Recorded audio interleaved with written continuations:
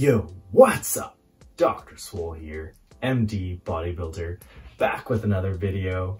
So with the COVID-19 pandemic going on, most gyms in North America are now closed and you might be home right now looking for workout inspiration.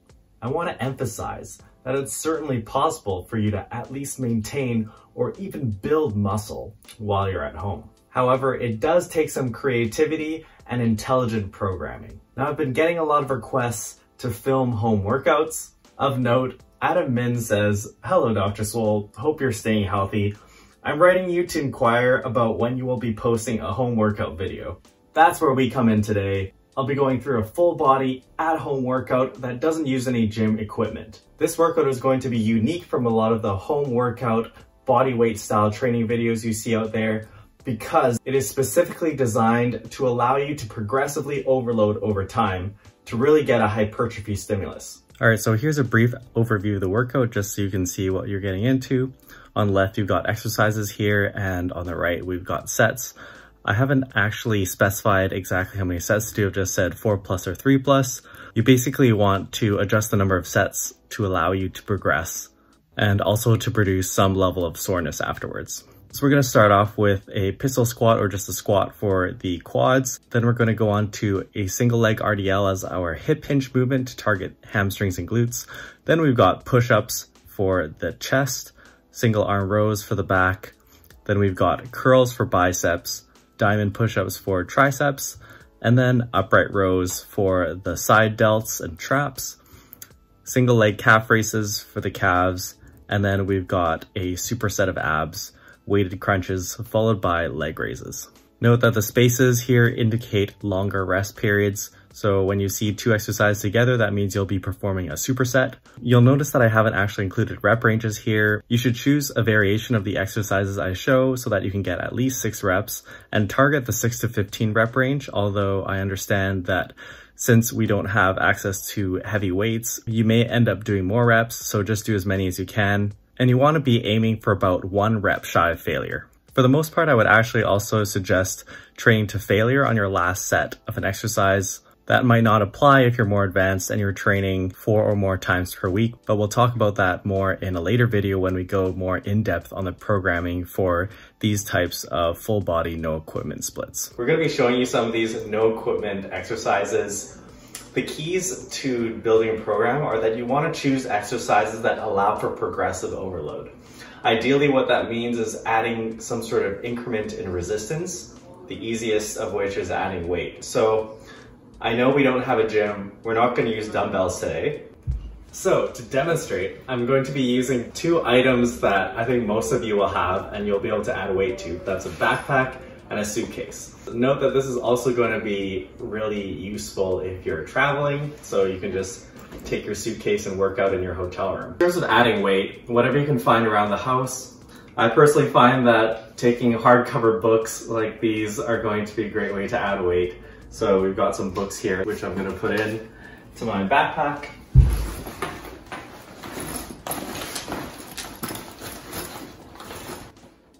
In terms of adding weight, you can use whatever you find around the house, your computer, canned food, or bottles of water. Basically, you want to think of something where you can add increments of weight to easily. So adding another book or adding another bottle of water is going to increase the resistance as you get stronger. As I've talked about in my Basics of Training series, progressive overload or increasing the amount of weight or resistance you can move over time is the best way to drive hypertrophy. Okay, so we're gonna start off with a squat and we'll start off with a bilateral squat and move on to a pistol squat for a more difficult variation. For the squat, you're gonna start off feet shoulder width apart, slightly turned out, and you're just going to go down and back up. From the side, you wanna make sure that your lower back stays in a neutral position and you want to squat as low as you can, ideally down to parallel or lower, and you want your knees to track over your second toe. And back up. If you want to add a weight in sort of a, as a goblet squat, you can carry your backpack and again go down. And when that gets too easy, you can move on to the pistol squat. Now there are a few ways you can do these. Obviously unassisted pistol squats all the way down are pretty difficult. So to start off, I'll show you some easier versions. I think the first one would be a boxed pistol squat. So squatting down to a box, or in this case, we're just gonna use a chair, whatever you have around. So standing on one leg, leg out straight, and sit down and come back up. The next variation I'm gonna show you is an assisted pistol squat. So you're gonna be just holding onto something for support, like this chair here. And then going down, this might let you go a bit lower and back up. And lastly, we'll show you the unassisted version.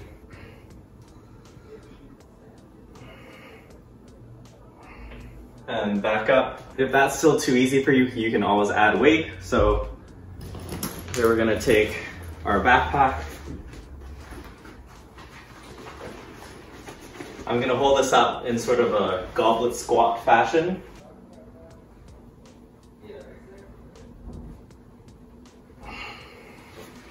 And add weight as you get stronger. All right, so our next exercise is going to be the Romanian deadlift. We're gonna do a single leg version. So you're gonna stand on one leg and you're gonna hinge at the hip and lean forward like this and back up. To add weight, you can use your backpack again, of course. Go down until you feel a stretch in your hamstring. And back up. Next, we're gonna do push-ups. So My hand's a bit wider than shoulder width and uh, keep a straight line from your ankle all the way up to your shoulder and down and up. Try and get a full range of motion. I like to think about going down until your nose could touch the ground or your chest was going to touch the ground. For a more difficult version, you can put your feet up on some sort of incline and do push-ups like this. And again, to add resistance, we can use our weighted backpack. So I'm just gonna put this on now and try some more push-ups.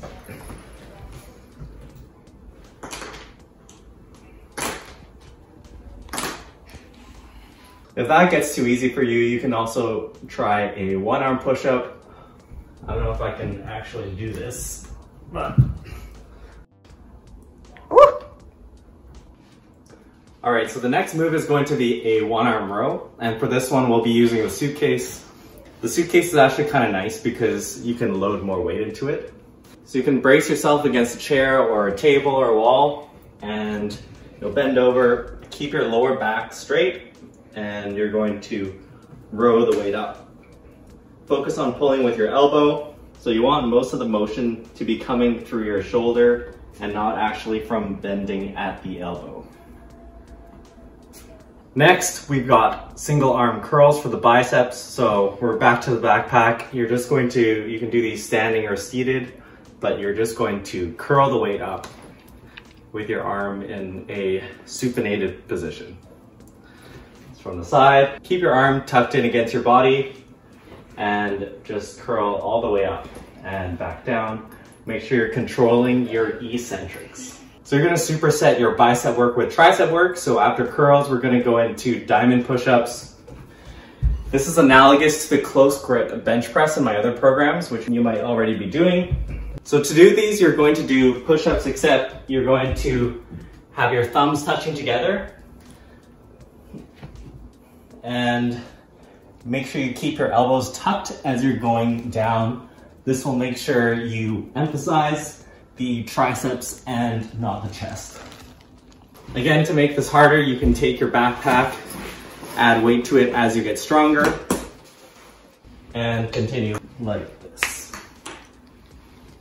All right, next we've got upright rows. So these will target your delts and traps. So you're gonna take your backpack or suitcase, hold in the center, and pull upwards.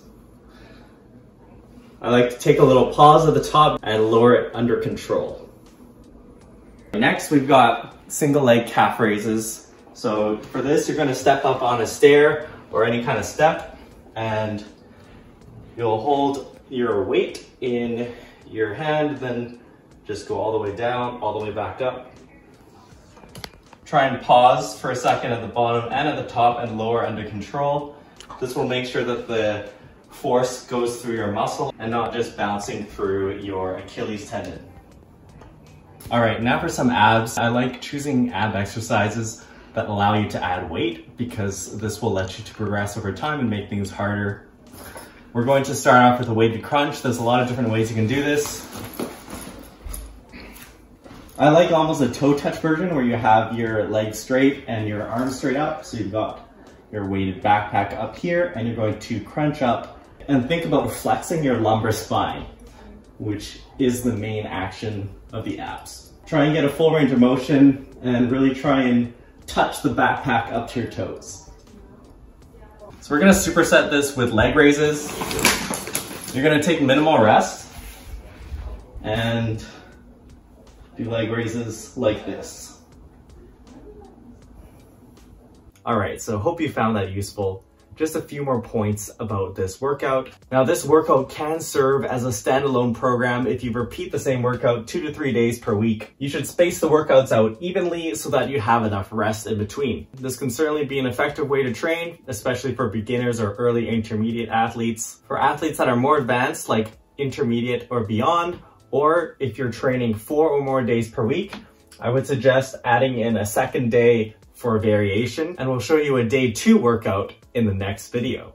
That's all for now, guys. Thanks for watching. If you enjoyed this video, make sure you like the video and leave me a comment below. Let me know what you thought about the workout.